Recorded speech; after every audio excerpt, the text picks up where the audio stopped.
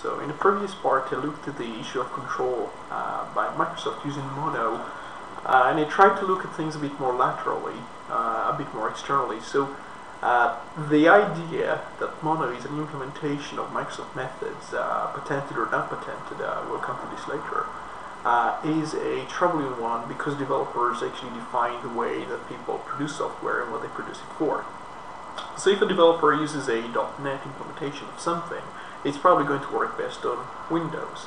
Uh, for natural call, you know, Microsoft actually defines what's going to be successful where.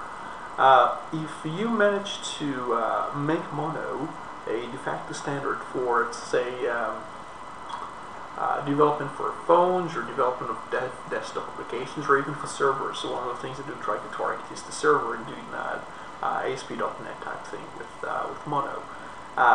What you then do is you bias the developers in a, in a way uh, whereby they become dependent on Microsoft. Uh, what it leads to is a preference for you know the real thing and not really the second uh, second class citizen, uh, which is Mono, which is Linux, which only runs Mono, doesn't run .NET or doesn't run the uh, Visual Studio and things like that from Microsoft.